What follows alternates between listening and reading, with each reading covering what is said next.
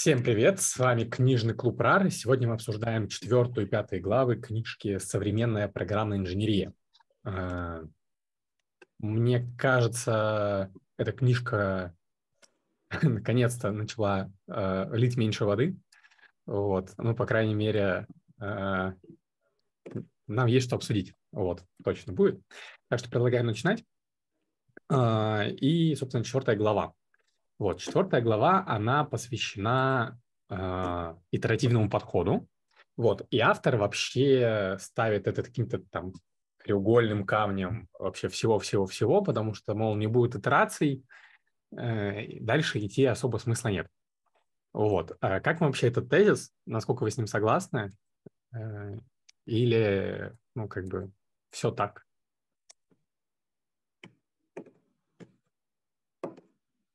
Я вот немножко не понял, почему он отдельно от итерации последовательность выводил да, в прошлой главе. Хотя итерация, по мне, так и есть последовательность. Мне кажется, что там финт ушами был немножко другой. Э, мол, в прошлой нам рассказали предпосылки, а в этой нам говорят уже э, конкретно, как решить проблему с обучением. То есть тут не то, что не надо смотреть, что типа в третьей главе как-то по-другому это назвали, в третьей главе были предпосылки к тому, что будет дальше. Ну, так я, по крайней мере, понял. Так, Сергей. Здесь у меня есть вопрос к автору, почему он так свободно манипулирует э, термином итерация э, с точки зрения моделей в частности, вот график представления стоимости изменения в модели, это вот вообще какой-то сюр. И я не совсем понимаю, почему он так активно, скажем так, именно хитит во многом э, отсутствие итерации, потому что на самом деле есть много проектов, много успешных проектов, которые все-таки были сделаны водопадом. Он по-своему оправдан. Он не оправдан только в момент, когда мы действительно не можем собрать какую-то спецификацию или мы делаем все под какой-то дедлайн. Довольно частая ситуация в бизнесе, довольно редкая ситуация, когда у нас есть э, какой-нибудь, грубо говоря, госзаказ. И, соответственно, тут мне кажется, что автор э, расставляет как-то немножко странные акценты, и потом под это дело подводит свой вывод, что итерация – это вот инженерный подход, а все, что не итерация – это не инженер. Ну, то, что у тебя одна долгая итерация, не отменяет то, что она у тебя есть. Э, вот. Ну, это как бы, мне кажется, апеллировать надо как-то таким образом. Вот. А по поводу твоего э, этого высказывания, тут хочется, знаешь, что отметить? Мне кажется, пятая глава дала ответ, почему водопад принципиально хуже, чем, э, чем вот agile подход. Потому что когда у тебя водопад, у тебя получается единственный путь к успеху. Соответственно, шаг влево, шаг вправо – это провал. Вот, чуть задержались где-то, сроки сорвались. И автор вот к этому оперирует. А вот тут у меня есть большой вопрос к автору. Как будто ну, давай мы когда сроки не в пятой главе придем, мы с тобой это поподробнее обсудим. А пока Илья. Ну, я в целом а, согласен с Александром, что пятая глава, собственно, и дополняет четвертую. А, раскрывая тему итерации. Для чего нам обратная связь нужна, как ее брать, но без итерации это сделать невозможно. И более того, раскрывает, что, что он понимает под итерацией. А, так как там целый процесс от идеи до воплощения, то итеративность, а, она заключается в том, что мы на начальном этапе не знаем всего. Вот у нас возникла какая-то идея, а в нашей голове она так, а у заказчика она вообще еще даже не сформировалась. И для того, чтобы мы э, начали двигаться в правильную сторону, в успешную сторону, э, мы должны эту итеративность осуществить, чтобы получить обратную связь и чтобы чему-то научиться. Вот я думаю, вот такой посыл был. Сергей? Обратная связь в водопаде есть, можно переходить на этап назад. Ну, так Даже это... не на один. Нет, там же водопад, э, понятно, что можно комбинировать. Э, тут, я думаю, противовес именно подход.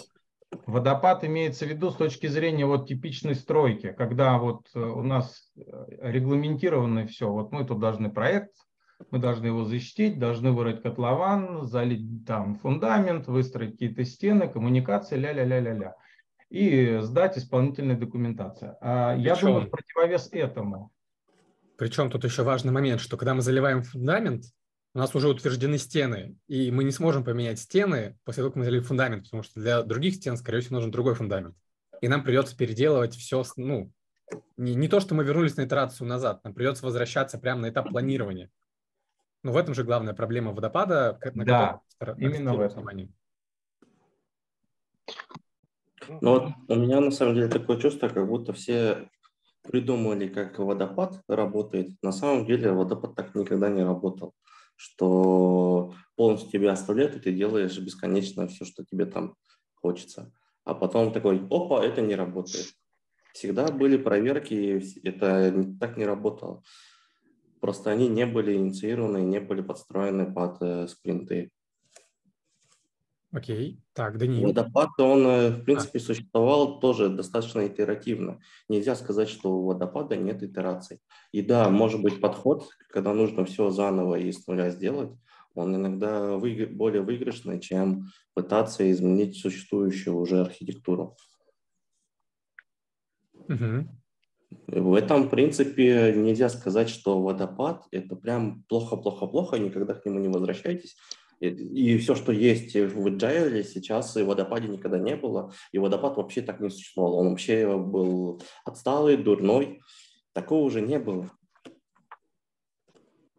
Это все на самом деле выдумки и страшные истории. Да, были исключения, которые действительно делали так, как рассказывает автор.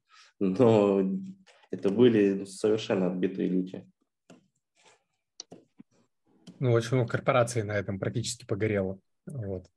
Это про отбитых. Э, Ну, ладно.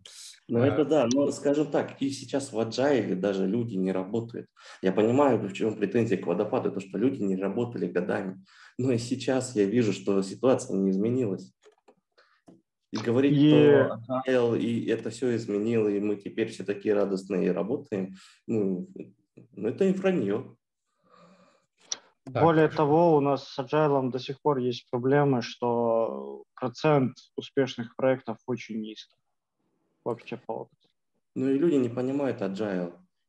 Спроси любого. Но они не понимают ни водопад, ни Agile, сказать по-честному. Да, в этом плане у меня есть большой водопад. вопрос к автору, потому что на самом деле то, что он вот рассказывает как серебряная пуля, она нифига не серебряная пуля. Но он как раз не про серебряную пулю. Он говорит, что, смотрите, мы, скорее всего, облажаемся, давайте это сделаем так, чтобы нанесло минимум вреда проекту. Ну, слушай, облажаться всегда можно по истечению 500 итераций. Вот все ваши рассказы по поводу того, что вы быстрее там получите обратную связь, все прочее и так далее, вот Agile этого вот совсем не гарантирует.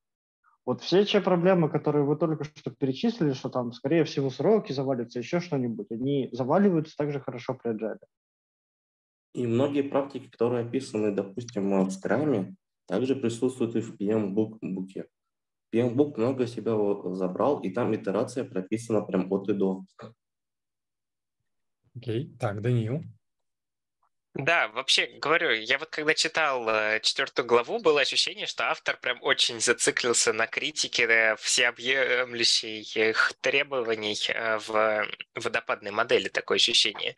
Ну, то есть у меня даже почему-то вспомнилось в некоторой мере не сколько водопадная, сколько V-модель, когда мы вначале спускаемся там по реализации всего, а потом поднимаемся по валидации всего Мгм. постепенно, поэтапно. И э, как будто автор, вот не знаю, намекает на то, что мы вначале все делаем, а вот мы сделали вот эту вот всеобъемлющую работу, сделали все и начинаем это постепенно верифицировать. И вот мы в этот момент грохаемся. Хотя уже даже в обсуждении говорилось, что кажется, что в водопаде мы можем вернуться на шаг назад. Да, его придется перепроводить, но не обязательно, как в модели совсем. Хорошо. А, Но опять же, да, только ситки возводят все в абсолют. Вот тут то же самое. Ну, в реальной жизни надо прекрасно понимать, что для конкретной задачи тебе нужно будет использовать те инструменты, которые наиболее эффективны, да, поэтому, когда мы говорим о каком-то реальном проекте, вот, там вряд ли будет чистейший agile, вряд ли будет чистейший водопад, вряд ли будет хоть что-то, что-то какая-то чистая теория, применяемая на практике, мне кажется. Вот, в любом случае будут какие-то вкрапления, в любом случае от чего-то откажутся, что-то добавят. Вот, и это ну, нормально. Да, Илья? В принципе, все используют, в принципе, водопад как базу, дальше туда просто вводят спринты и канбан-доску. Это все. Ну, я так понимаю, намыс имеет в виду, что водопад верхнеуровнево должен быть для руководства, для заказчика. Потому что они все равно скрам не понимают как таковое, и они, это им чуждо. Им проще вот бюджет, значит, распишите мне его, как оно будет. Окей. Но это не совсем так. Я имел в виду, что да, они э, не понимают водопад, и что нет смысла строить скрам, начиная с людей снизу. Снизу вверх не работает скрам. Скрам должен идти снизу и сверху одновременно. Все должны переучиваться, настраивать э, именно коммуникацию. Почему все пытаются решить какими-то фреймворками, какими-то непонятными проблемы коммуникации? Ну, так, в общем, а... если закры... ну, закончить мысль, то важна обратная связь. В водопаде обратная связь чаще всего, чаще всего, подчеркиваю, возникает, когда горят дедлайны. Когда у вас уже водопад должен упасть, а он не падает каким-то образом магическим. И если э, там период вот этого процесса долгий, то мы надолго проваливаемся и далеко отваливаемся, далеко уходим и просрачиваем. Соответственно, в противовес этому другой подход. Мы здесь можем а, что-то делать, то, что не делали до этого, если мы рассуждаем о том, что разработка – это что-то создание каждый раз нового, ну, если не берем рутину, то, наверное, это имеет место быть.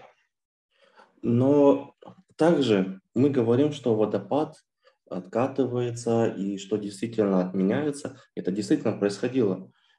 Я видел гораздо меньше отмена спринта, чем э, разворачивание водопада. А и можно здесь это, это, у меня большая критика к, как раз-таки к Agile, то что он становится неповоротливый, и как раз-таки он, этот подход, приводит к тому, что редкостное говно появляется на стендах. Так а Agile тут каким боком? Там они же всего лишь только декларацию сказали, ребята, давайте жить дружно. Ну, не Agile, ладно, фреймворки, но все равно все ссылается к Agile. Это так типа понимают его. Так, а Сергей. можно на эту реплику тоже ответить? Э, получается, здесь есть такой момент, что самое лучшее программное обеспечение на текущий момент в отрасли, согласно, по крайней мере, многим исследованиям там, тех же самых IBM и так далее, пишет э, NASA. NASA разрабатывает все по водопаду. Первый момент. Второй момент. Когда мы говорим про дедлайны, не надо говорить о том, что agile не скатывается непонятно что. Как раз agile скатывается еще лучше. Потому что под э, идеологией «ну мы когда-нибудь все переделаем» было наворочено так много говна, что прямо ни одном водопадом не описать. Когда вы говорите про стрессовую ситуацию для команды, когда начинает бизнес давить и все прочее, любое качество, за исключением там каких-то суперпрофессиональных команд, которые умеют говорить «нет», уходит непонятно куда.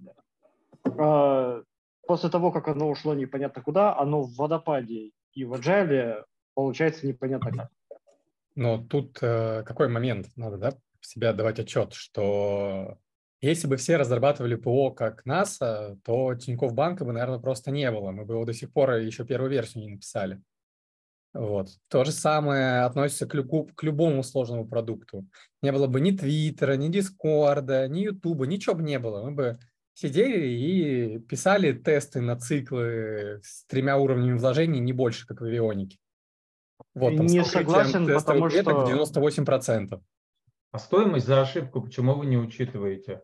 Между НАСА, проектами его, а, там жизни целые, да, и миллиарды, если чуть-чуть ошибся, и Тиньков. Ну, не получилось, не получилось. Ну, тоже минуту от, некоторых могут жизни зависеть. Э, в этом плане банковское ПО как раз оно, ну, как минимум процессинговая его часть, она критически важна. Ну, наверное, ну, это, ну, давайте немножко экскурс в историю, да. Первая официально доказанная ошибка разработчика, приведшая к смерти людей, была э, на рентгеновском аппарате. найдено, вот и было точно установлено, какой человек это ПО написал. Соответственно, этот человек писал ПО один, у него не было ни одного теста. Вот, когда начали перепроверять, нашли, кроме этой ошибки, еще 12, которые могли привести к смерти людей. Ну, то есть, грубо говоря, там просто переоблучение было, потому что индикатор не загорался. Типа, ну, типичная ошибка в многопоточности, там гонка данных была. Вот. Но, тем не менее, а, после этого же ввели какие-то требования, но люди все равно, такая история еще не раз повторялась с теми же самыми рентгеновскими аппаратами. То есть тут, наверное, проблема даже ну, не подхода, а, не знаю, ну, безответственности людей конкретных. Мне кажется, как-то как так. Да, мыс? Опять же, тест, подход тестирования. Вот смешивают, еще раз скажу, что agile, но это просто под agile я подразумеваю семейство фреймворков, чтобы более ясно было. Вот смешивают agile и MVP. И вот и происходит так, что это просто скатывается к тестированию на, на, на проде. А вот это как раз-таки рентгеновские аппараты есть история про тестирование на проде просто, на пользователях. Ну, вот тут Юлия правильно в чат скинула картинку. А, как на самом деле это все по, по итогу выглядит, что у нас есть итеративные подходы, инкрементальные, да, вот, и что происходит, когда у нас реально подгорает э, бюджет, подгорает время, вот, и от нас требуют результата. Вот, ну, как бы так оно и есть, да. Да, Сергей? Что-то сказать хотел и забыл. Я говорю, это просто слишком божественные картинки. Да, ну там что-то вот э, мысль зацепилась, ладно, потом Хорошо. Ну, я думаю, мы когда а, на обратной связи... А, вспомнил. А, давай. Относительно agile, фреймворков, всего прочего и так далее. Давайте тоже не забывать, что agile, вот манифест, который говорит о том, что, к примеру, люди важнее процессы, все прочее и так далее, Потом мы говорим, что эта штука должна у нас масштабироваться на n количество команд, где n больше 100. Мы приходим к размерам там чего-нибудь Сбербанк, Тинькофф, Google и так далее.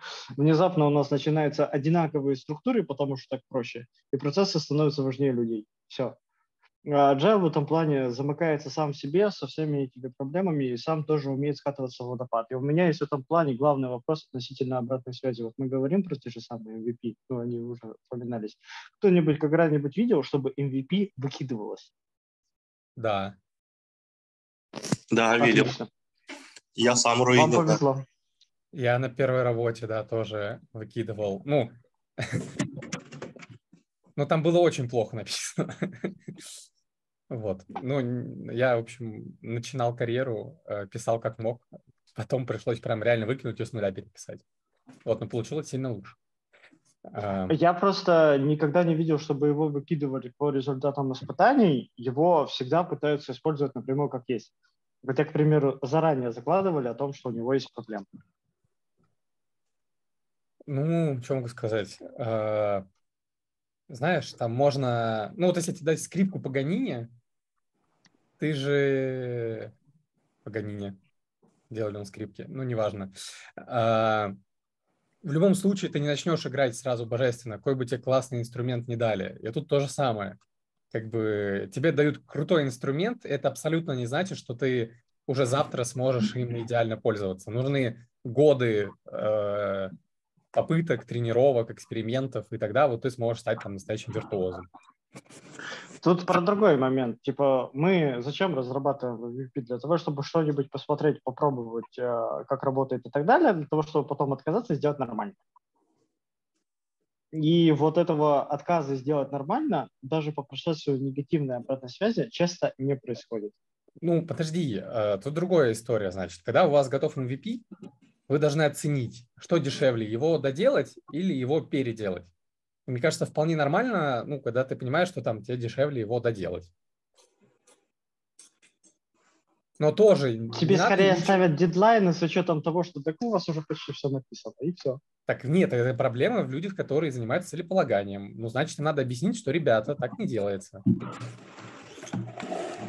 Ну, я это... хотел бы реплику по поводу, вот Сергей сказал, то, что в больших командах все становится одинаковым и вся структура э, похожая становится. Так это основная проблема у нас с менеджментом, его квалификацией.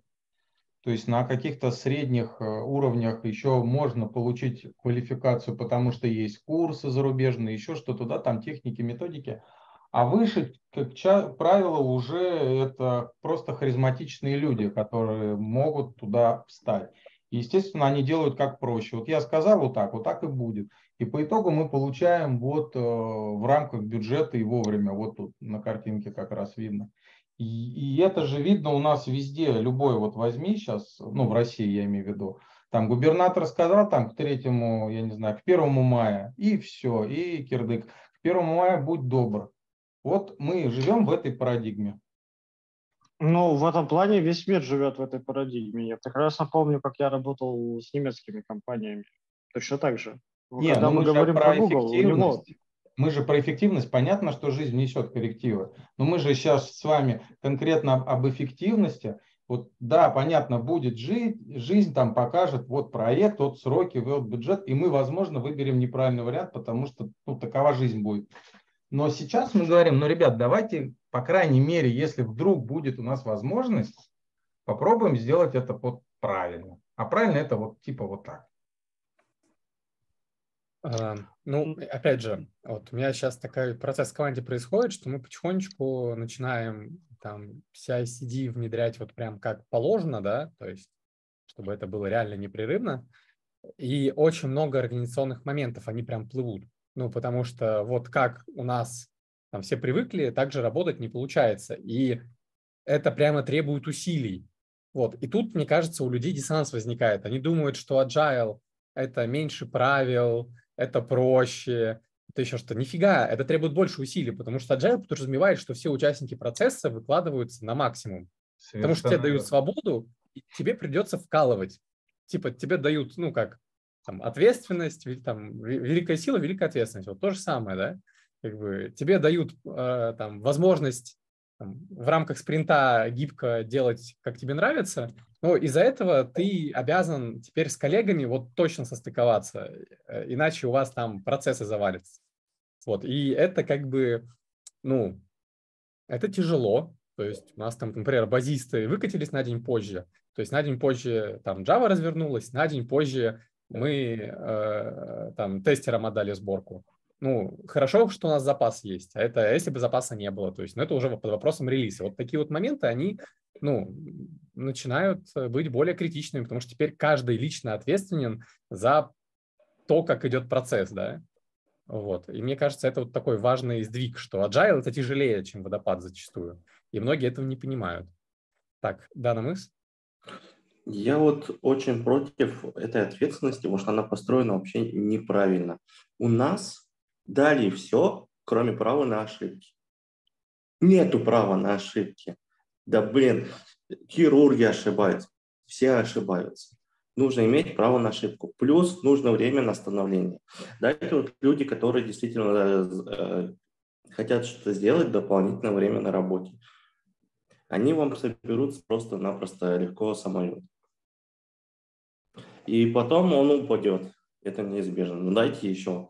Но у нас такого нет. Если ты упал, то все. На российском рынке ты просто закрыл себе дорогу. Ой, по большей части. Ну, это не касается, конечно, прям совсем маленьких MVP. Я имею в виду в рамках э, компаний внутренних ну, стартапов. Интересно. Мне кажется, у нас как раз э, институт репутации в России не сильно развит. Вот. Тут в этом плане Институт мы... репутации нет, но у нас все равно очень мало мест, где даются деньги на эти вещи. Это правда. И, и мы это максимум R&D, и, по которых Сергей съел собаку, а, и, соответственно, какие-то фонды или же внутренние компании, которые делают э, розыгрыши. Ну, не розыгрыши, а конкурсы. Грант, еще что-нибудь. Да, да, да. Но это все. Их можно по пальцам а, одной или максимум двух рук пересчитать. Если ты в одной, то завалился, завалился, то и во второй тебе сразу там могут сразу отказать. Ну, тоже это не совсем верная история, потому что есть прекрасный подкаст у «Либо-либо». Я не помню, как он называется, но, по-моему, это их, который, собственно, от, от самих создателей «Либо-либо». Вот, и они там питчили инвесторам идеи. Ну, то есть там сезон про инвестирование был.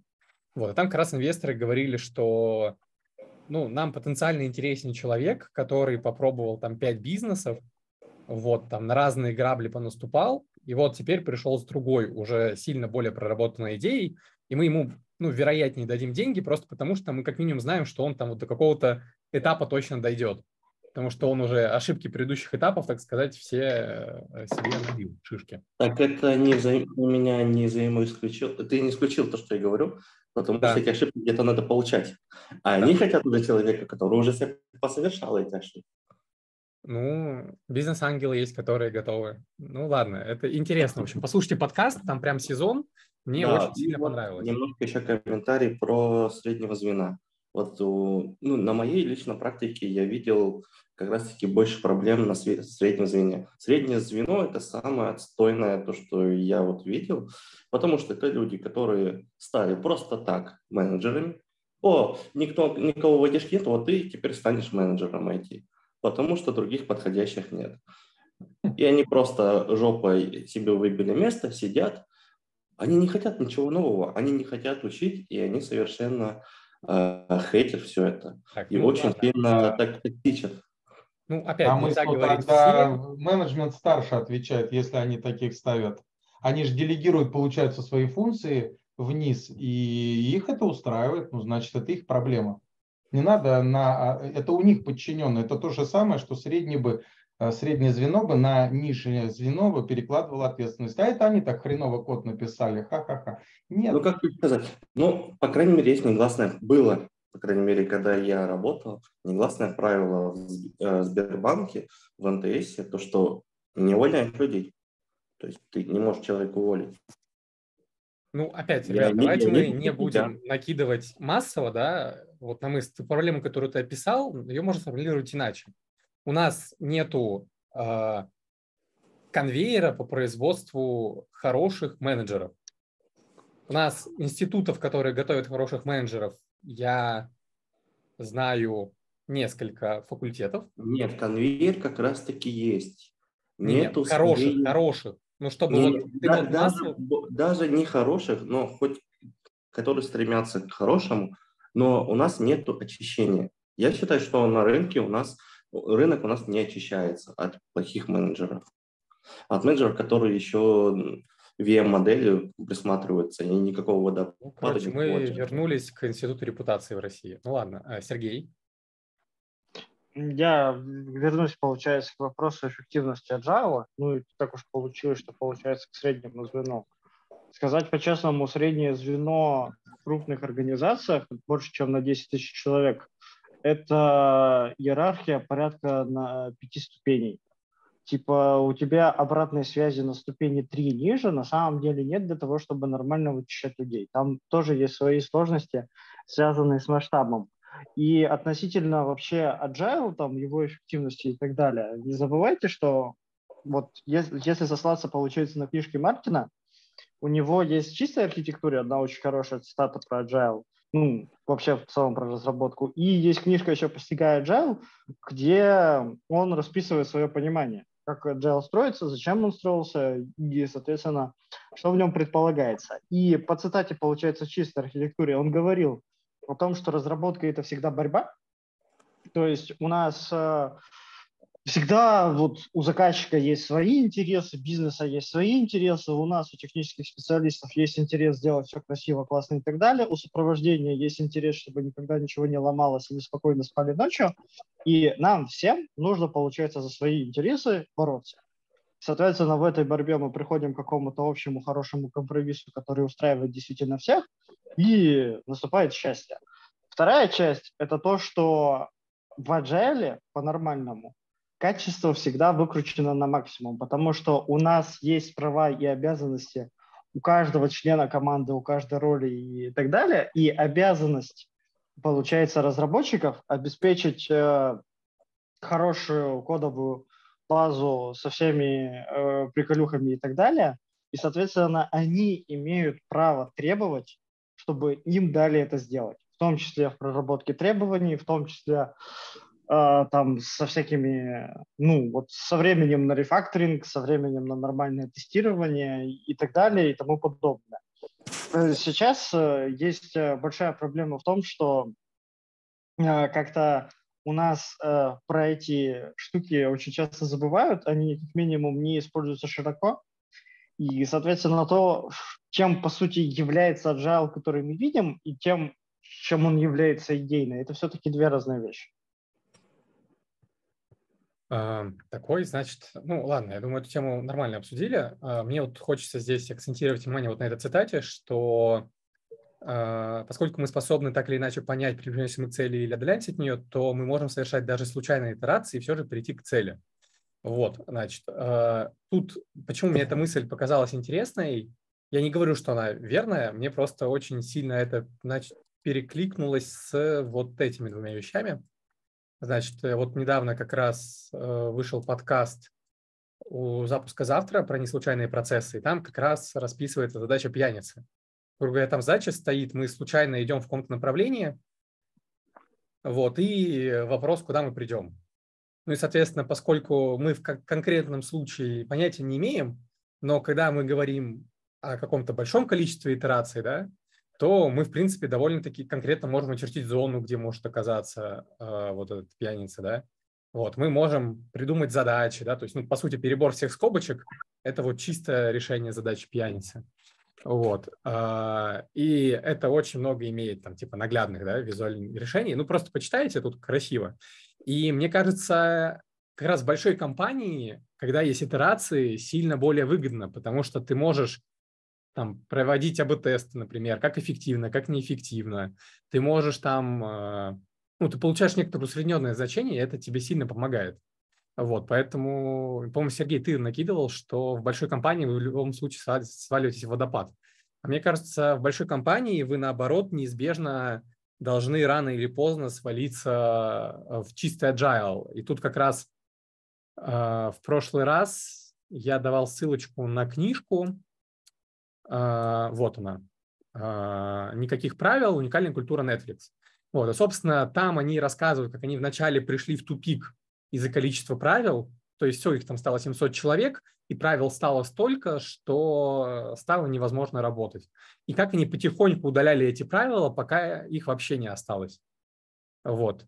И там были прикольные тесты. То есть, например, теперь безлимитное количество отпуска человеку дадим. Посмотрим, он становится больше работать или меньше становится оказывается, он больше начинает в году работать, то есть компании выгоднее. То есть, с одной стороны, как бы плюшка человеку, а на самом деле плюшка компании.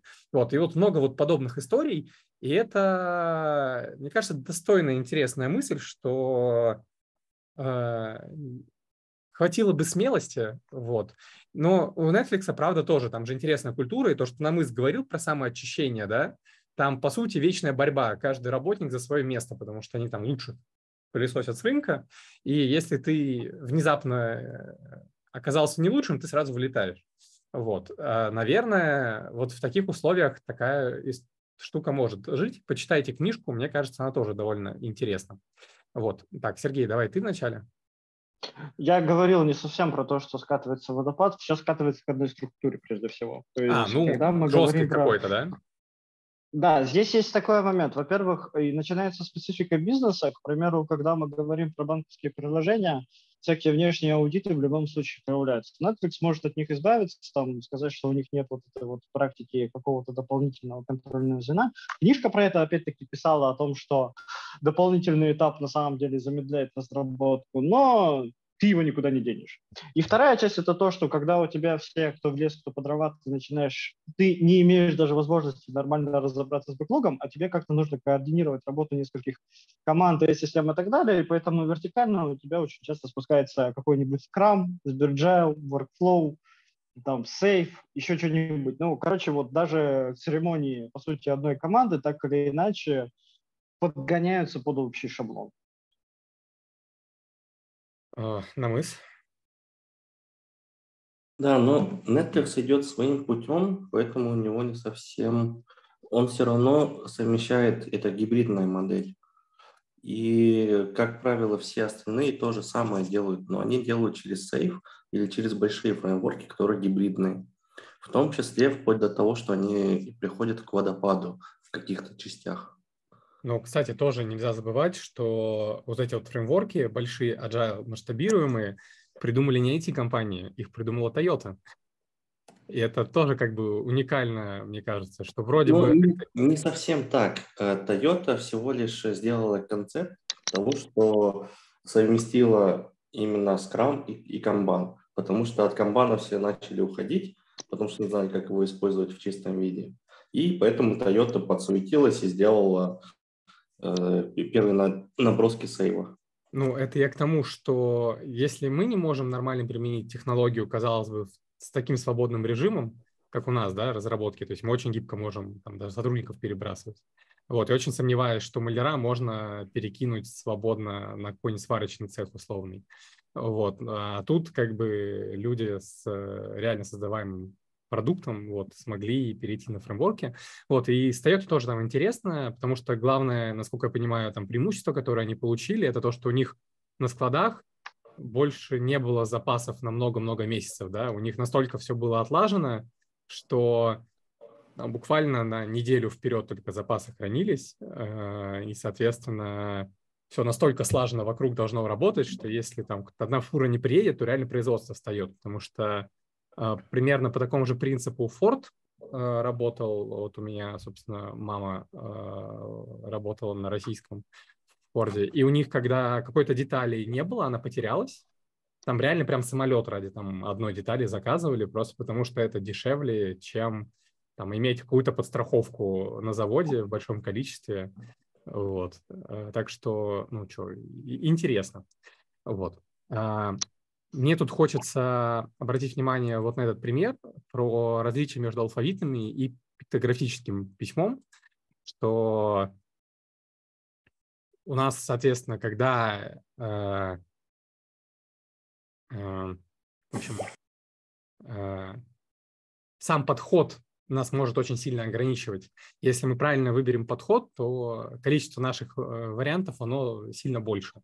Вот, то есть зачастую даже на таком этапе уже можно заложить ну, потенциальное развитие. И вот автор, мне кажется, очень сильно верит в то, что водопад — это тупиковая история, а agile — это настолько гибко, классно и хорошо, что его можно там, развивать бесконечно, бес, до бесконечно хорошего состояния. Вот, и, возможно, это и главная проблема этой книги, потому что нам не хватает какой-то фактуры. Он очень э, однонаправленно светит, на мой взгляд. И это, конечно, э, ну, немножко, немножко вызывает вопросы. Так, э, давайте... Пурум-пурум. Ну, я не знаю, есть ли смысл обсуждать графики? Мне кажется, на них можно очень много набросить. Вот, Сергей, Какие-то давай. Они беспонтовые, эти графики. Какие еще Это раз? настолько уж... Беспонтовые они. Да. Ну, они и так чисто, мне кажется, ну, как там в философии есть, надо довести до абсурда, чтобы что-то там доказать. Ну, вот мне кажется, это из этого. Ну, доказательство от противного, да. Да. А, вот тут вот, значит, в чем... Ну, если вот время – это что-то близкое к бесконечности, график, наверное, так и выглядит.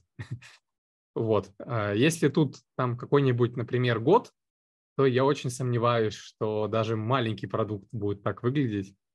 А, Это, конечно, утопия. Да, Сергей?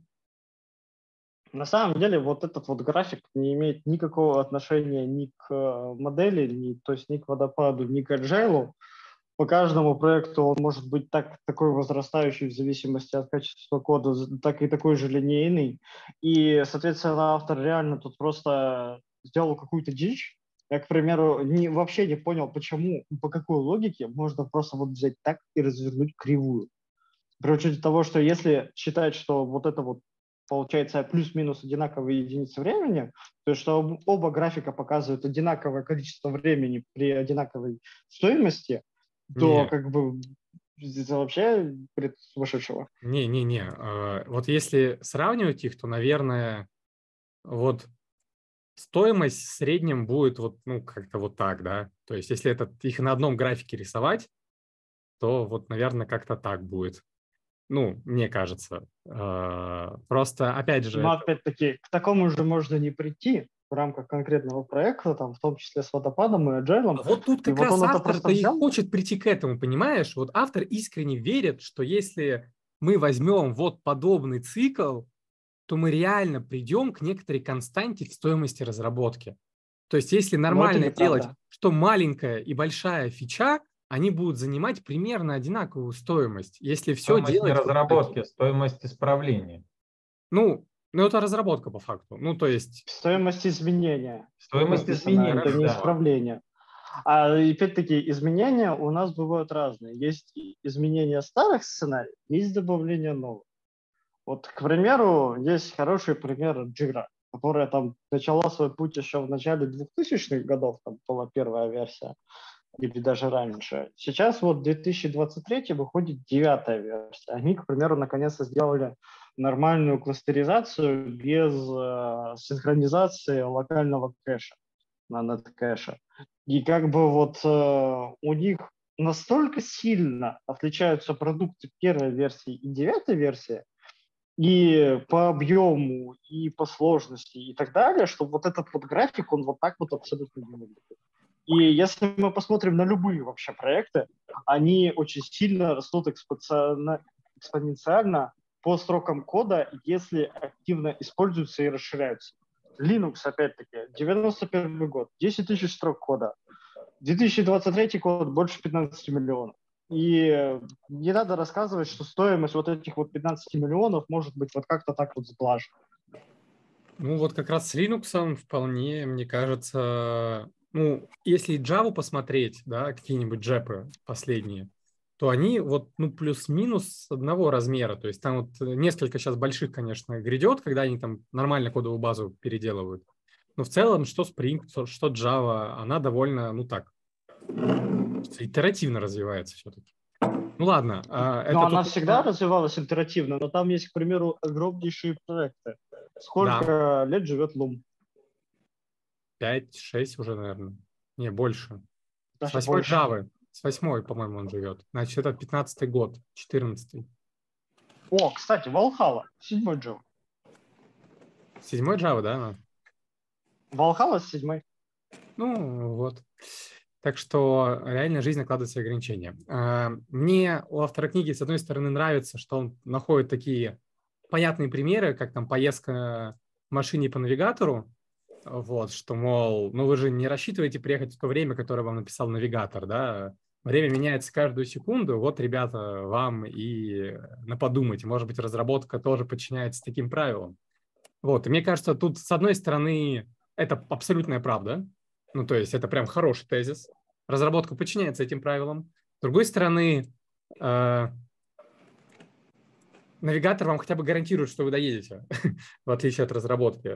То есть тут, э, в общем, аналогия хорошая, но не полная, к сожалению. Э, да, Сергей? Кто-то забыл одну очень э, давнюю, но хорошую шутку. Недели отладки сэкономят нам часы проектирования. Так, подожди, вот, это тоже хороший наброс, яркий пример, но почему нельзя взять там спринт проектирования в Agile? Такого же никто тебе не мешает делать. Э, Нормально так и делают, да. Ну, Бизнес нормально. Но просто он говорит, что сила планирования – это такая вот странная фигня, которая на самом деле кажется, которой мы на самом деле не можем управлять, и только валанги могут, получается, это делать. Не, ну Нет, подожди, это он довольно- часть как в Agile, так и в э, водопаде. он довольно четко нарисовал того монстра, с которым он борется. Это вот тот водопад, когда тебе нужно возвращаться на стадию планирования, когда ты зашел в тупик в разработке. То есть он вот прямо описал, против чего он борется. То есть, ну, то, что в реальной жизни такое уже, наверное, давно не встречается, да, это другой вопрос. А, То, что любой адекватный менеджер так не допустит э, такого, это тоже другой вопрос. Вот, тут э, он нарисовал некоторого монстра, и он показывает, как с ним бороться. То, что это ну, с реальной жизнью вообще никак не соотносится. Так, да, на мыс? Да, но на самом деле бизнес, вот в чем проблема? Бизнес считает, что именно бизнес делает деньги. Разработчики считают, что именно разработчики делают деньги. Но прислушиваются именно к бизнесу. И поэтому, а бизнес хочет новых фич, а разработчики хотят отладки. Я... И потому что ставят вопрос как. то, что хочет разработчики, принесет нам новые деньги? Нет. А то, что бизнес предлагает, вот это принесет? Я где-то слушал подкаст, соответственно, где ровно этот тезис полностью опровергали из серии, что на самом деле все от разработки идет. Типа не будет разработки, вот, не будет ничего. Вот, поэтому да, надо ставить разработку во главу угла и, соответственно, к ней максимально прислушиваться. Ну, вот. мое мнение, не надо ставить ни то, ни другое, потому что разработчики, мы разработчики Ну, система же. сдержек и противовесов должна быть. Типа, надо мы находить компромиссы и их реализовывать. Нужно э, не только компромисс, нужен симбиоз. Сим... Да, нужно хорошо. действительно как-то э, давать разработчику бизнес-домен, а бизнесу давать понимание основных процессов, хотя бы процессов э, разработки. А вот тут тоже автор хорошо накидывал в предыдущей главе на тему, что почему у нас есть процессы и методы, методологии всякие в разработке кода, почему мы не используем, например, выделение абстракций да, э, при планировании. Ну, то есть то же самое, у бизнеса мы даем некоторые внешние API, вот, а внутренняя реализация должна быть от него скрыта. То есть ему должно быть пофиг, как у нас там итерации построены, вот, и мы либо мы по водопаду фигачим, по большому ну, счету. Как раз-таки Scrum для этого и сделан. Да? Он как раз-таки дает э, story Это, ну, по сути, раньше бизнес рассчитывал человека часы. Человека часы не работают. Сейчас есть story-поинты. Story-поинты должны как бы работать. Но никто не говорит, что story-point нужно наладить между бизнесом и разработкой. Если нет понимания того, чего стоит StoryPoint, и то, что он относительный с обоих сторон, угу. то эта история не работает совершенно. Хорошо. Так, давай, Илья, и надо это, нам уже к обратной связи приходить. Да, Илья. у меня просто, э, ну, как бы ответ на реплику Сергея по поводу там того, чтобы планировать э, лучше всего а потом делать. Да никто же не говорит, что так не делать. То есть итерации предполагает, что нужно итерироваться от идеи до деплоя. Все процессы итерировать постоянно, постоянно. Ну вот как бы так. Просто разбить их на не мелкие куски и идти. Так, Сергей. Ну, здесь, во-первых, автор говорит о том, что нужно именно итерироваться как можно чаще, а не сильно заморачиваться на проектировании, что как бы вызывает вопросы. А во-вторых, э, есть ответ по поводу, получается, реплики Александра, что он вот, что автор составил, получается, какого-то монстра, с которым, получается, сравнивать. Вот для меня лично кажется, что он реально взял вот, вот шкалу монстр ангел, водопад поместил в монстра, а Джайл поместил в ангела, и он, конечно, хорошо и красиво об этом пишет, но тогда возникает большой вопрос, а какое отношение это имеет к реальному миру? И здесь вот начинает немножко уже напоминать ту же самую историю, что и с микросервисами. Оно не совсем хорошо бьется, это больше похоже на рекламу. Окей, okay. Даниил? Да, вот в этот момент хочется вклиниться как раз и вспомнить самые первые главы, когда говорилось про то, что автор хочет дать какие-то более универсальные инструменты. В итоге в книжке, ну пока что, по крайней мере, потому что смотрел, выглядит довольно однобоко, что а, автор явно, ну, как уже говорили в примере с ангелами, смотрит в одну сторону. И вот. причем проблема в том, что он фокусируется еще и, как я вначале сказал, на конкретной проблеме, даже водопада, а не на комплексе проблем. Ну вот мне вот так показалось. Да, это хорошее замечание. И тут еще, ну, в чем, мне кажется, полезность. Вот э, у нас появилось некоторые две метрики, которые автор там вывел из другой книжки. Вот, и по сути все, что мы, ну, по крайней мере, вот первые две главы делаем, это мы придумываем, как нам, э, э, как нам их, по сути, максимизировать, да, то есть в чем суть? То есть у нас появилась э, итерация, После каждой итерации у нас обратная связь. Вот. И в итерациях мы, соответственно, делаем небольшие изменения, ну, то есть процессные. И, соответственно, когда мы делаем эти изменения, э, мы замеряем, насколько стало лучше. И для замера он нам дал два критерия. Это пропускная способность и, э, господи, что там было второе? Lead time. И lead time, да. Все. Не, lead time это, наверное, есть пропускная способность. А, там про качество, наверное, ошибки какие-то надо было. Не, количество дефектов, пропускная способность Да. и LT – это скорость э, Ну вот, да. Вот, два критерия нам дали, и все. Дальше, э, типа, бери, пробуй, смотри, как у тебя работает. Вот это, мне А. кажется, хорошая мысль, которая реально применима на практике. А, соврал. А, Получается, метрики стабильности, частота отказов и время восстановления, а метрики пропускной способности – это время на реализацию, time, и частота. Да.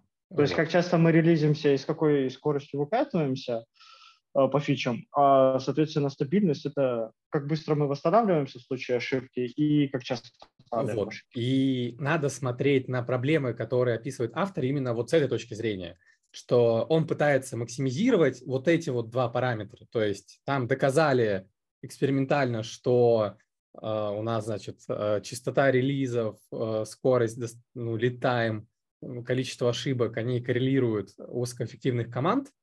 Что такое высокоэффективная команда? Отдельный вопрос. Вот мы их как-то приняли за веру, что вот это высокоэффективная команда. Они посмотрели, что это коррелирует. И все, мы теперь всю книгу пытаемся максимизировать вот эти параметры.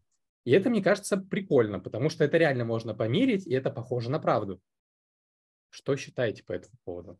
Ну вот здесь он же и дальше пишет в пятой главе, что стабильность и пропускная способность важны, потому что наиболее понятные показатели, а не потому что они идеальные. Да.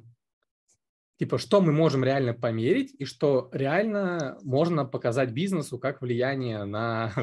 Да хотя бы своей команде показать, чтобы все понимали, о чем мы говорим. Вот мы Да. сейчас часто спорим здесь, вот, да, вот, ну, казалось бы, и не можем синхронизироваться. Представьте, мы одна команда. И мы вроде как в одном контексте разговариваем сейчас. Книжку почитали, ну, там, как-то к коду имеем какое-то отношение. Сейчас заходит сюда директор, который вообще ничего не понимает. И, и, и как? Ну, то есть, а мы должны говорить на одном языке. И вот, собственно, это и есть попытка найти те- тот инструмент, хоть как-то, чтобы нас всех в кучу собрать. Да, мне очень нравится, это хорошее мнение, спасибо. Сергей? Ну, там тоже есть очень много связанных с этим нюансов. Э, К примеру, от того, что это за задачи. Задачи бывают очень проработанные, задачи бывают нифига не проработанные. Самый хороший all-time будет э, показывать команда, которая берет только проработанные задачи. И с одной стороны, это хорошо, прикольно и так далее, вполне возможно, при этом не соответствует бизнесу. У меня вот, к примеру, сейчас э, all-time в команде убит из-за меня лично во многом. А, Тупо потому, что нам попалось три задачи, связанных с выгрузкой э, в систему, которая работает с конфиденциальной информацией. И мы просто на два месяца ушли в согласование. У меня time по истории будет квартал, три месяца. Ну, Здесь есть очень много связанных с нюансов с тем, э, что как у нас построен процесс, почему он такой, почему у нас есть, э, получается, такие вот э, выборки, э, почему у нас это может быть хорошо, плохо. И тут опять-таки мы изначально-то пришли к тому, ну и обсуждали весь час до этого наш, э, то, что тут автор набрасывает, получается, на водопад против agile. И, соответственно, вот его метрики нормально будут работать при водопаде. И, соответственно, как бы возникает вопрос половина из того, что мы читаем, а какое оно имеет отражение в реальный мир, если мы все-таки сравниваем это с каким-то мифическим мостом. Не, вот опять, тут, тут я не согласен. Как раз вот на реальный мир вот эти метрики, которые автор э, дал, они, они хороши и понятны. Вот. А, А, Метрики в целом согласен. А, Вопрос именно про рассказы итерации относительно их пользы и так далее. То есть эти метрики мерить хорошо, без вопросов. Но их можно верить в водопаде, и в agile. Нет, так можно. Тебе никто не заставляет переходить на agile. Он говорит, что смотрите, вот, э, например, обратная связь, она отлично ложится на ТДД. Вот ТДД отлично и итерации частые идеально просто э, работают вместе. Поэтому, если вы хотите, чтобы у вас был там надежный код, э, и вам для этого, соответственно, нужны частые релизы, вам, соответственно, для этого нужна гарантия, что релиз ничего не сломает, то вы хотите, не хотите, вы придете вот к этому. Просто потому что опять-таки- это фил, ну, по, по, по ну, философски, да, по, и, и, и по, по идее совпадает. Неправда. У тебя, если разработка идет без принтов, хочешь сказать, что ты не можешь использовать TDD? Можешь, можешь ты не сможешь его использовать на всех уровнях. Ты сможешь его использовать, ты сможешь обратную связь а, подожди, а как написания кода. Не, подожди, подожди ТДД а это часто ТДД влияет на проектирование? Не, не, подожди, подожди, подожди. В чем разница? Он говорит, что у нас есть несколько уровней, где у нас применяется обратная связь. Уровень написания кода у тебя ТДД. Когда мы говорим про обратную связь там, в части интеграции, у тебя это там CI. Когда мы говорим, что у тебя там еще более высокий уровень, соответственно, у тебя там метрики качества кода появляются. Когда мы там об архитектуре говорим, у тебя там тестируемость и развертываемость появляются. То есть тут такая пирамидка, ты ее как бы собрать должен. То есть ты не можешь на одном уровне с обратной связью жить, точнее не так, ты это можешь сделать, но будет сильно эффективнее, если обратная связь будет через все уровни разработки проходить, а не только где-то конкретно, где тебе удобно. Возникает вопрос, по сути, получается, у нас есть несколько хороших э, методов э, инженерных именно, такие как действительно CI, CD, там, приемочное тестирование, вот это вот все, там, в ТДД. И мы действительно это можем использовать. Вопрос э, тогда в том, почему у нас так много воды, связанных с водопадом и agile, если на самом деле эти практики от них не зависят. От чего еще раз?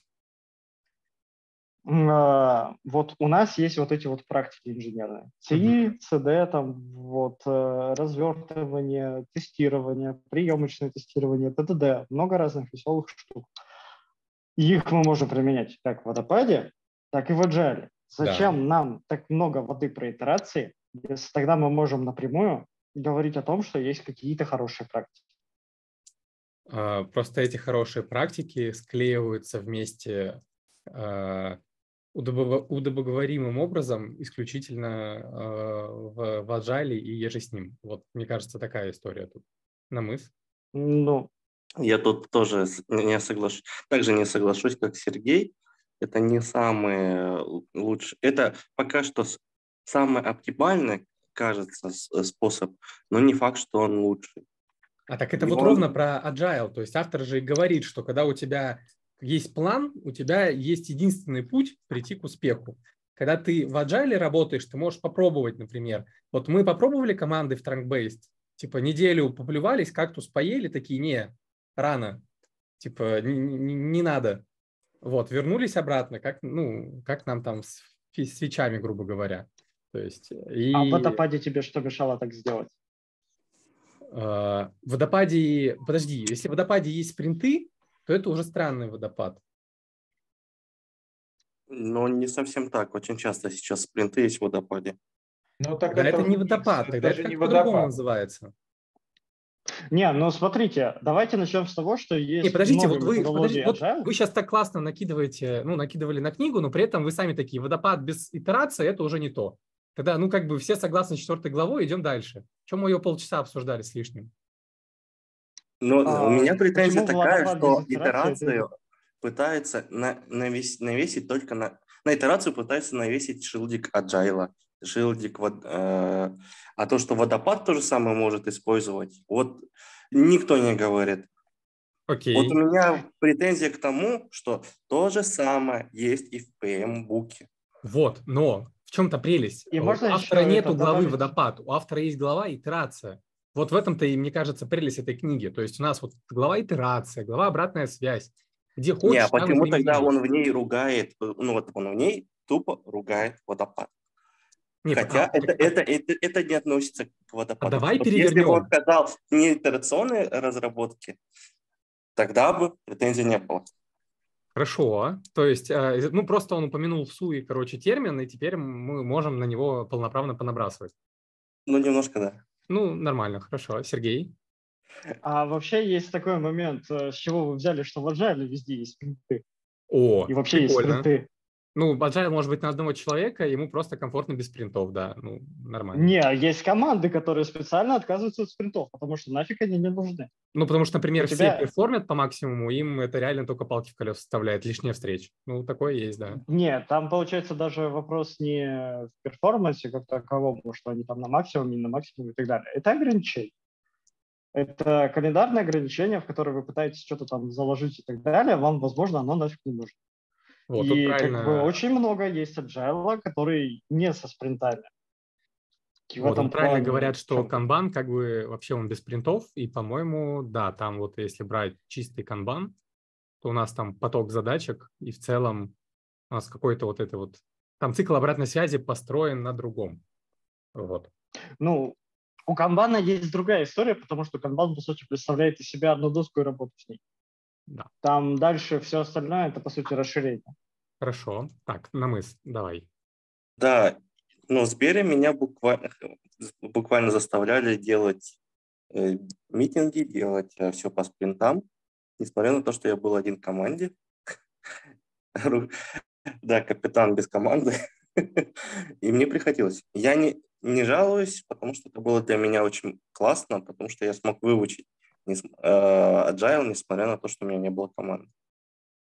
Прикольно. А, Илья? Ну, у меня была мысль такая, что, собственно, спринты неправильно используются.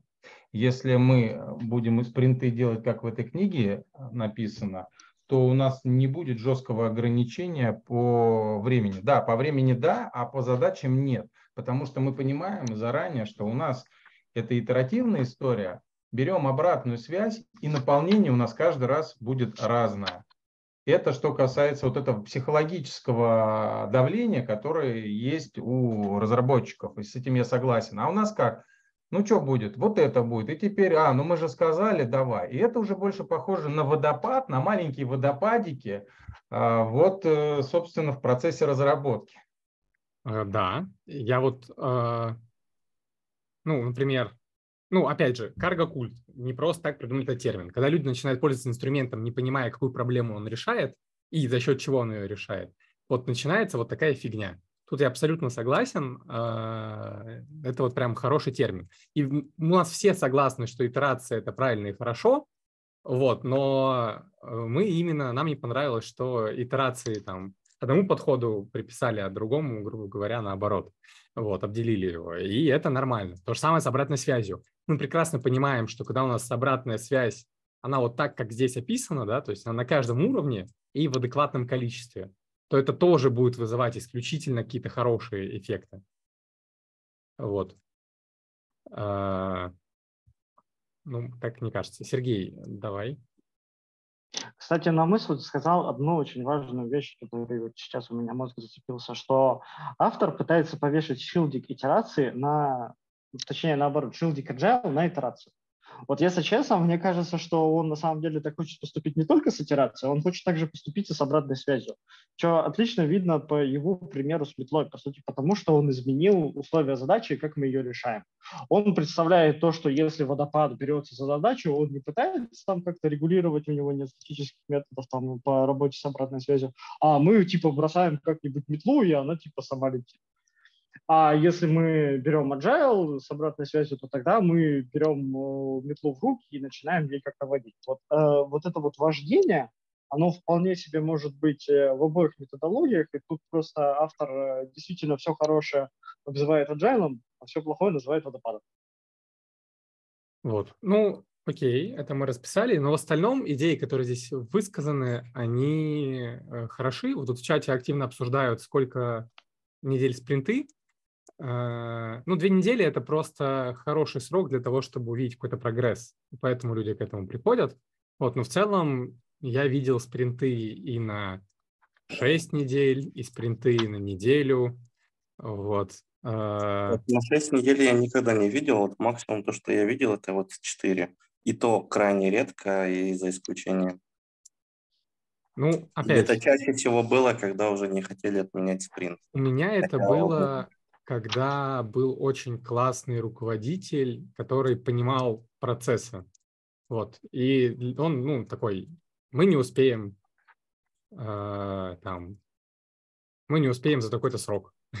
Все, давайте, зачем нам разбивать на два этапа? Давайте вот за один, но вот процесс так проще. Вот и все, и погнали.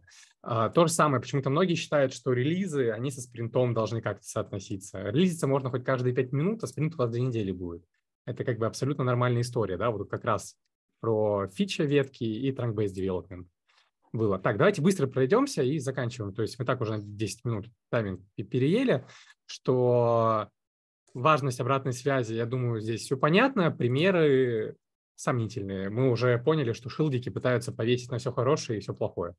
Вот. ТДД определенно хорошая технология, которую люди, э, мне кажется, рано или поздно начнут массово внедрять. Ну, посмотрим, когда этого дойдут.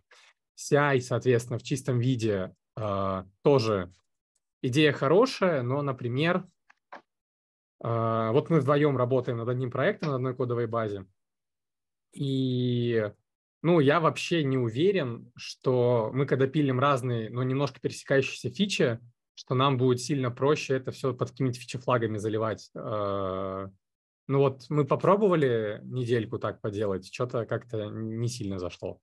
Вот, соответственно, э, парам-пам-пам, в дизайне, вот это вот прикольно, что как только вам сложно начинает писать тесты, скорее всего, у вас плохой код. Вот с этим я согласен, э, вот это я на практике пробовал, тут ну, или мой личный опыт, что совпало. Вот, дальше связь в архитектуре, значит, тестируемость и развертываемость. У нас вот сейчас как раз активно, то есть весь отдел, то есть у нас там много проектов, у нас там 12 разработчиков, много аналитиков, много тестеров. Вот мы сейчас все активно вот э, в тестируемость и развертываемость переползаем, и это прямо реально архитектурно оказывается история, потому что у нас там связь между сервисами, например, какими-нибудь и все, там ты их либо мокой, либо вместе поднимай. То есть, а должен ли ты при выкатке одного сервиса тестировать другой, например, с ним в купе? И тут вот начинается много интересных вопросов. Вот. Про микросервисы я тут просто отметил, потому что мы читали книжку, и мне кажется, тут еще раз переизобретают микросервисы. Вот. Мне больше понравилась история, как у Ричардсона, что когда у вас не состыковка нефункциональных требований, вот тогда у вас появляется микросервис. Ну, мне это как-то определение больше понравилось. Вот. А быстрая обратная связь предпочтительнее. Вот, это прямо тоже, что у нас сейчас активно идет. У нас тестером пропагандируют сдвиг влево, а надо его не тестером пропагандировать, а разработчикам. Вот с них надо, чтобы все начиналось. Тогда только это работает, потому что, ну, к сожалению, в вакууме это все не висит. Надо, надо, надо людей все равно сводить, и тогда что-то хорошее будет. Вот, дальше про дизайн продукта, честно, у меня, видимо, мне понравилась цитата, что нам платят не за не за красивый код, да, и глазки, а за, которые в зуме, да, смотрят на бизнес, а за то, чтобы хотелки бизнеса мы закрывали. Вот, тут как бы, ну, по-моему, просто прекрасно. Вот, да, Сергей? Тут, кстати, с этой цитатой я как раз не совсем согласен, потому что всегда можно линейно увеличивать сложность проекта при э, работе с фичерами, если ты их делаешь неправильно, без рефакторинга, там, постоянным копированием, просто раздувая кодовую базу. У нас есть кривые сложности проектов с точки зрения как раз э, внесения изменений. И у нас есть зависимость того, что получается э, проект, грубо говоря, живет 5 лет, и стоимость внесения изменений в него э, между первым годом и пятым годом возрастает где-то как раз эти самые пять раз. Есть там хорошие команды, плохие команды. У хороших это просто, к примеру, гораздо медленнее. Даже с плохими командами нужно делать какие-то рефакторинги для того, чтобы это как-то вот подравнивалось и было вот одинаковая это самое, получается, стоимость изменений. И за это как раз на самом деле платят. Про это часто забывает бизнес, потому что, опять-таки, за метриками не следит. Но когда мы говорим про слежение метрик, то это же вот эта вот история, она очень хорошо отображается в ЛТ, что у нас, по сути, одинаковые изменения в первый год и в пятый год занимает разное количество ЛТ. Так, не, подожди. Это, вот опять тоже подмена понятий. Мы создаем ценность для компании, а не закрываем хотелки бизнеса, да, тоже важный момент. Вот автор – ценность для компании поддерживаемый э, код, который легко развивать, это тоже ценность для компании. То есть в этом плане, мне кажется, тут авторы хорошо... Ну, надо почитать, что в оригинале написано. Тут, я думаю, перевод мог немножко исказить идею, но мне кажется, тут ценность имеется в виду и код хороший, это тоже ценность. Поэтому тут вот надо смотреть. Вот, ну и дальше, э, собственно, ну, обратная просто... связь организации. Да конкретная цитата, которая написана у тебя. Разработчикам не платят за то, чтобы их продукт легко тестировался и имел оптимальный дизайн в некоторых компаниях не платят, но на самом деле часто пытаются платить. Хорошо. Вот. Ну и, соответственно, последнее, что здесь есть, это обратная связь организации, что Agile, собственно, полагается на том, что процессы, да, не важны, важны люди и э, их взаимодействие. Вот. И тут автор очень хорошо как раз э, говорит, что у нас есть метрики стабильности и способности, потому что Agile тоже на самом деле не стал серебряной пулей, он не решил все те проблемы, которые надеялись, что он решит. Да, то есть все там, как мы уже обсуждали, что водопад это не черное, а Agile это не белое. То есть э, у вас должны быть какие-то метрики, когда вы какие-то вещи из Agile себе затаскиваете или из водопада, вы должны просто понимать, вы как компания становитесь, как команда становитесь эффективнее или нет. И вот в этом плане обратная связь, которую вот автор так пропагандирует, она классная. То есть он говорит, вот, ребят, вам нормальный инструмент, и вы сможете хотя бы относительно смотреть, как вы развиваетесь в процессе. Вот, ну, мне кажется, это интересная мысль. Вот, ну, итоги, соответственно, обратная связь, она необходима, чтобы могли учиться. Вот, без быстрой э, связи мы строим догадки, а на догадках далеко не уедешь.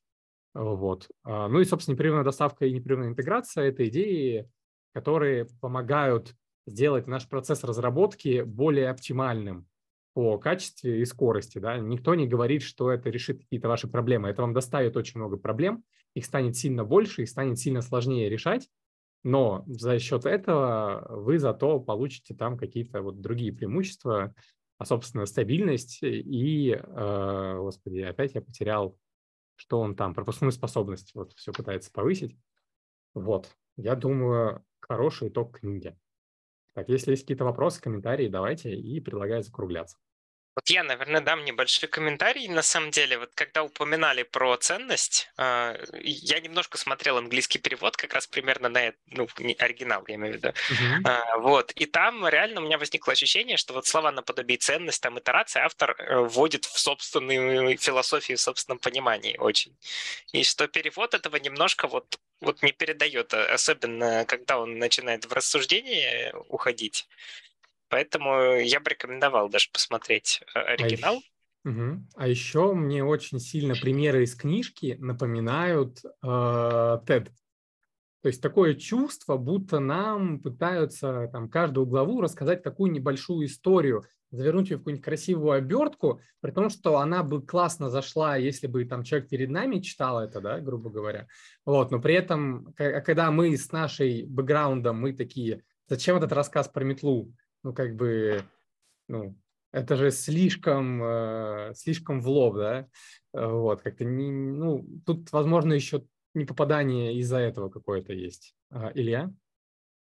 Да, ну, по поводу метлы, наверное, тоже реплику сделаю. Да мне, наоборот, такие нравятся примеры. Я сам стараюсь, э, как детям все рассказывать, тогда меньше вопросов и и самому также нравятся такие же примеры слушать. Вот. А что касается перевода, действительно, вот если, ну, вот, например, на сотой странице здесь вот есть такое, есть вот слабая связанность, это когда хорошо, и высокая связанность, это тоже хорошо в одном предложении.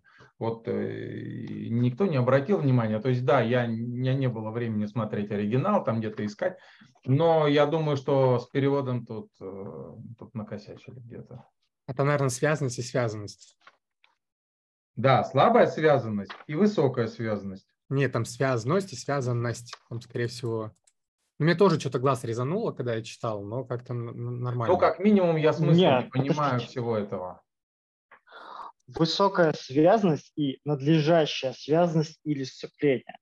Здесь, на самом деле, отсылочка к краску, то есть у которого есть э, высокая связность, низкое зацепление и наоборот.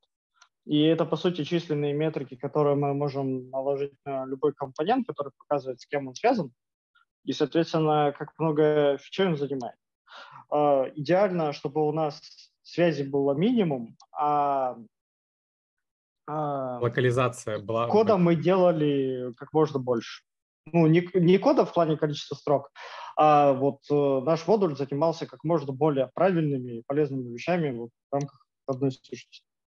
Uh, да, вот тут Кирилл еще в чат написал, что архитектура ПО повторяет устройство организации. Uh, мы этот тезис уже, наверное, третью книжку упоминаем. Вот. Uh, ну, пока вот здесь вроде бы в лоб этот, его не высказывали, и вроде как я не помню, кто-то очень хорошо прокомментировал, я найду цитату, мы прям, по-моему, когда про микросервисы общались, кто-то прям хорошо описал, про что тут на самом деле, это, кстати, идет речь.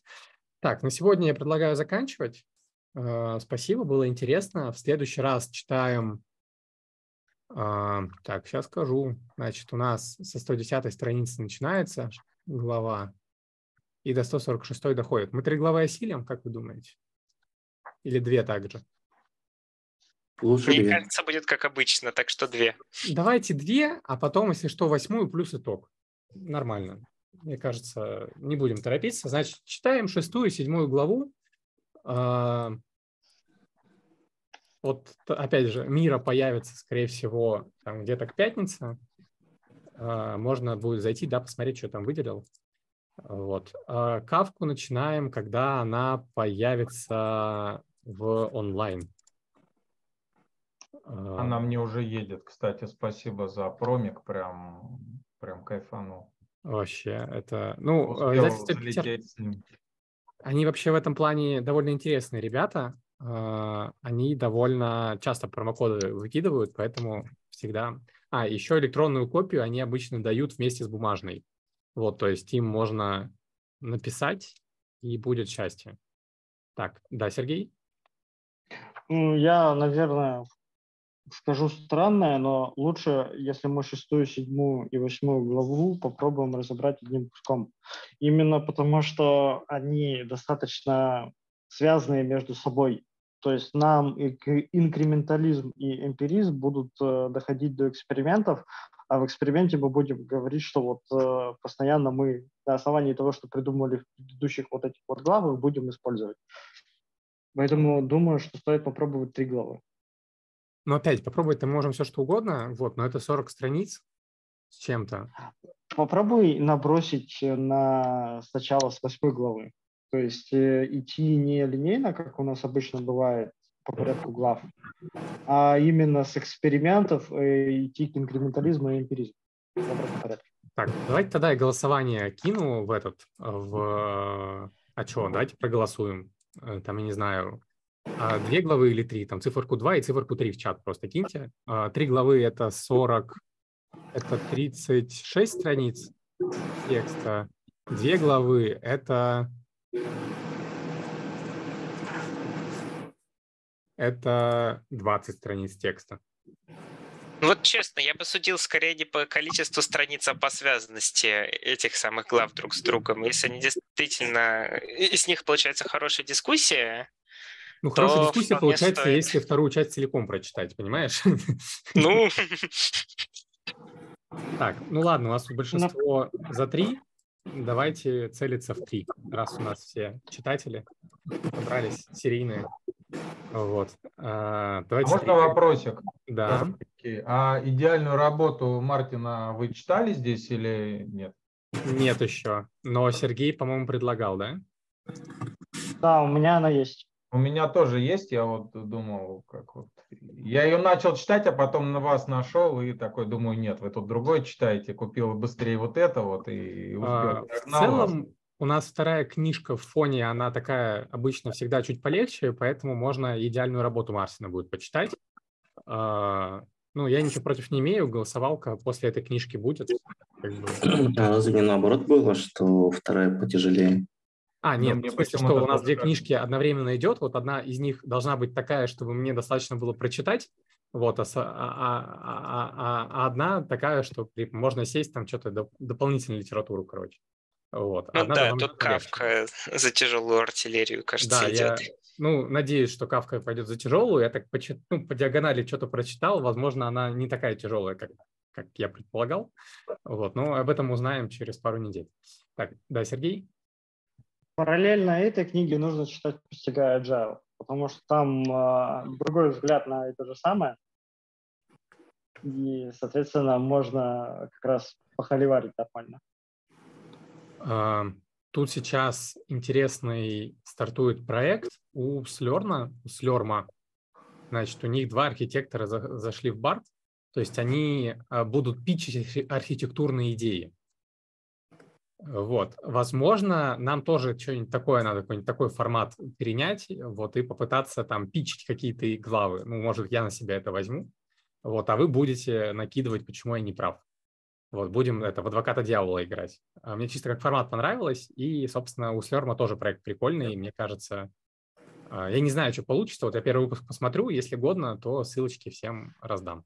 Мне кажется, тут надо тогда две стороны, кто за и кто против чтобы были Да у нас дебаты. так примерно и получается э, на самом деле. Вот. Мы, в принципе, довольно разносторонне обсуждаем. Вот, все, а то мы уже точно тайминг перевалили. Всем спасибо. Э, до следующего вторника.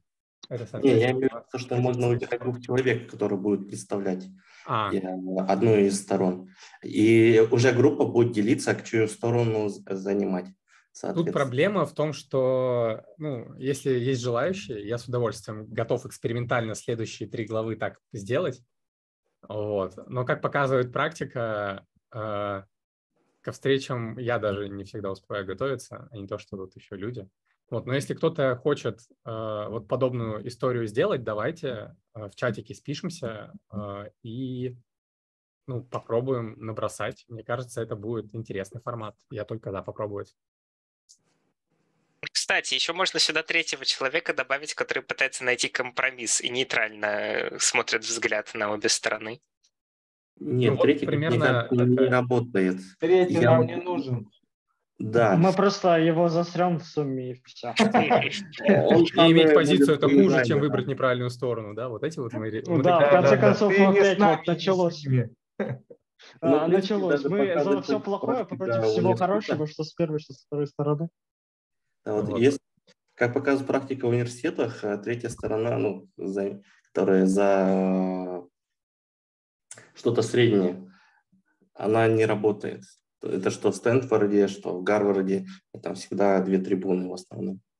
Не-не, э, тут это, это я в этом шарю, я немножко там в дебатах участвовал в свое время. В принципе, есть фреймворки, которые нам позволят, э, в общем, сделать это нормально. Вот, но это надо готовиться. И нужно человек там 8 хотя бы активно участвующих в этой истории, чтобы это плюс-минус живо смотрелось. Ну да, вот у нас на 10-15 как раз на групповой динамике на втором курсе. А, ну вот, Было. да, у вас примерно там вот как раз можно-то э, разбить народ, это только еще позиции должны быть интересны. То есть, например, по этой книге так можно сделать, вот, а в каком-нибудь обсуждении Kafka условной, ну, вообще без вариантов, ребят. Вот, поэтому давайте попробуем. За Rabbit топить будем. За Rabbit. Блин, не поверишь, вот мы примерно так же командой, нам тут говорят, у вас общебанковская Kafka, мы такие, Rabbit, Rabbit, он хорош. Вот, ну ладно, а, это мы через пару недель это обсуждение продолжим. А, всем спасибо. Всем пока. Топовую запись. Пока.